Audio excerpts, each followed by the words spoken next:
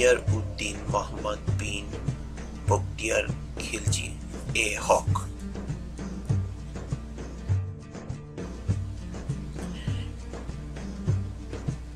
ইখতিয়ার উদ্দিন মোহাম্মদ বিন বখতিয়ার খিলজি ছিলেন জাতিতে তুর্কি আর পেশায় ভাগ্যান্বেষী সৈনিক। নিজের কর্মশক্তির উপর ভর করে অন্যান্য দেশবাসীর ন্যায় ভাগ্যান্বেষে বের হন।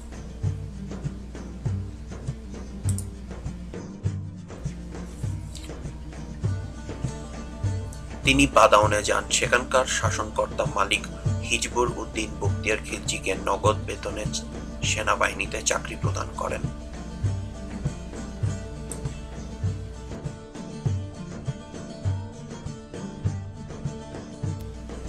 অল্পকাল পর তিনি বাদাউন ত্যাগ করে অযোধ্যায় যান।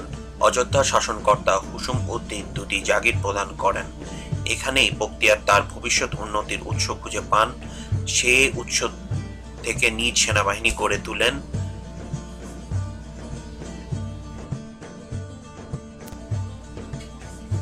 বখতিয়ার মাত্র দু হাজার সেনা সংগ্রহ করে পার্শ্ববর্তী হিন্দু রাজ্যগুলো আক্রমণ শুরু করে।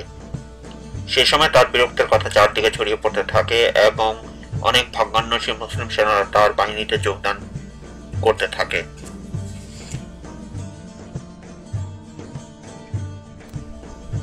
বিহার বিজয়। ইখতিয়ার উদ্দিন মোহাম্মদ বিন বখতিয়ার খিলজি একদিন এক প্রাচীর বিস্তৃত দুর্গের মতো স্থানে আসেন এবং আক্রমণ করেন।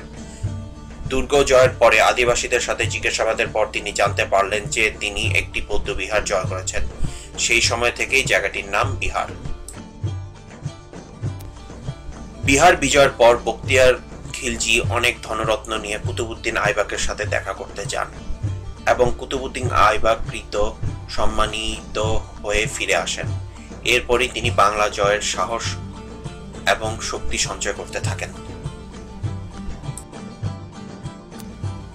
বঙ্গবিজয়, তৎকালীন বাংলার রাজা লক্ষণ সেন বাংলার রাজধানী নন্দিয়া অবস্থান করছিলেন। কিছু পণ্ডিত তাকে সতর্ক করে দিয়েছিলেন ইখতিয়ার উদ্দিন মোহাম্মদ মুক্তিয়ার খিলজির বিষয়। এতে করে লক্ষণ সেনের মনে ভীতির সঞ্চয় হয়, নন্দিয়ার সকল প্রবেশপথ বন্ধ করে দেন।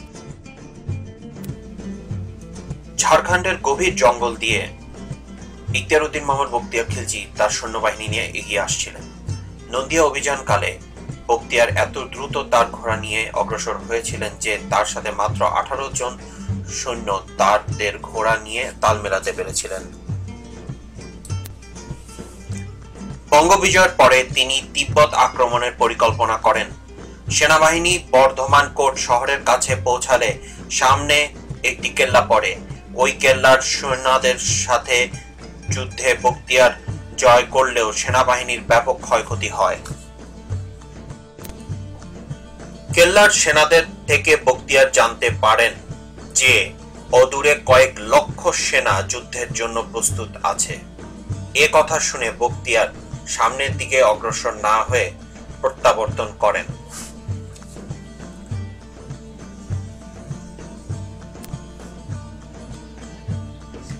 তিব্বত অভিযান বিফল হলে বক্তিয়ার খিলজি বঙ্গে ফিরে আসেন। এর অল্প কিছুদিন বাদে বারোশো ছয় খ্রিস্টাব্দে তিনি শয্যাশায়ী অবস্থায় মৃত্যুবরণ করেন। কেউ কেউ অনুমান করেন যে বক্তিয়ারের মৃত্যুতে তার সেনাপতি আলিমার্দান খিলজির হাত ছিল।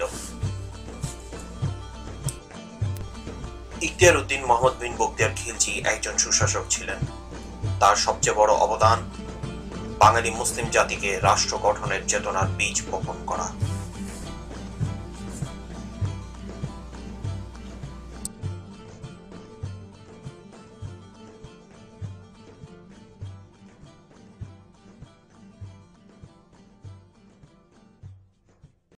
Created using Powtoon.